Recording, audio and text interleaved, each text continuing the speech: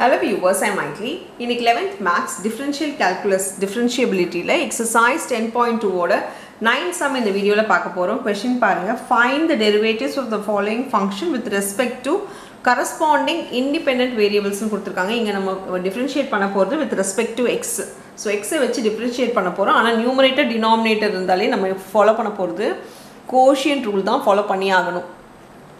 So டிவைடில் இருக்குன்னா quotient rule follow பண்ணணும் ஸோ எல்ஹெச்எஸ் டிஃப்ரென்ஷியேட் பண்ணும்போது டிஒய் பை டிஎக்ஸ் ஆகிடும் கோஷியன் ரூல்னால் என்னென்னா ஃபஸ்ட்டு டினாமினேட்டர் எழுதிக்கோங்க. டினாமினேட்டர் அப்படியே எழுதிக்கோங்க. நியூமரேட்டர் டிஃப்ரென்ஷியேட் பண்ணுங்கள் நியூமரேட்டரை சைன் எக்ஸை டிஃப்ரென்ஷியேட் பண்ணால் காஸ் எக்ஸ்னு ஆகிடும் மைனஸ் போட்டுக்கோங்க. இப்போது நியூமரேட்டர் அப்படியே எழுதிக்கோங்க. டினாமினேட்டர் டிஃப்ரென்ஷியேட் பண்ணுங்க. டினாமினேட்டரில் ப்ளஸில் இருக்கும்போது இதை தனியாக டிஃப்ரென்ஷியேட் பண்ணணும்.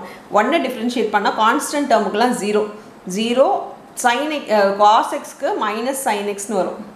Cos x differentiation minus sine x by denominator square டினாமினேட்டரில் என்ன இருக்குது ஒன் ப்ளஸ் காஸ் எக்ஸ் இருக்கா? So one plus cos x the whole ஸ்கொயர்னு எழுதிக்கோங்க. இப்போ பாருங்கள் இது உள்ளே மல்டிப்ளை பண்ணிக்கோங்க. மல்டிப்ளை பண்ணால்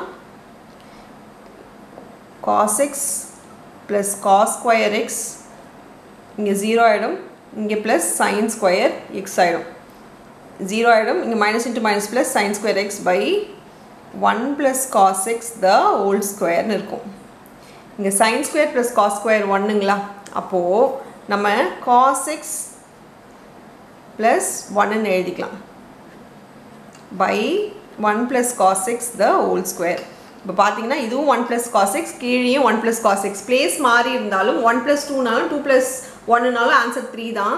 ஸோ இது சேம் தான். அதனால் இது ஸ்கொயரும் ஒன்றும் கேன்சல் ஆகிடும் இப்போ பார்த்தீங்கன்னா this is equal to one by one plus cos எக்ஸ்னு ஃபைனலாக வருது. இதுதான் இதோட டிஃப்ரென்ஷியேஷனோட ஆன்சர் அவ்வளோதான் இந்த சம் தேங்க்யூ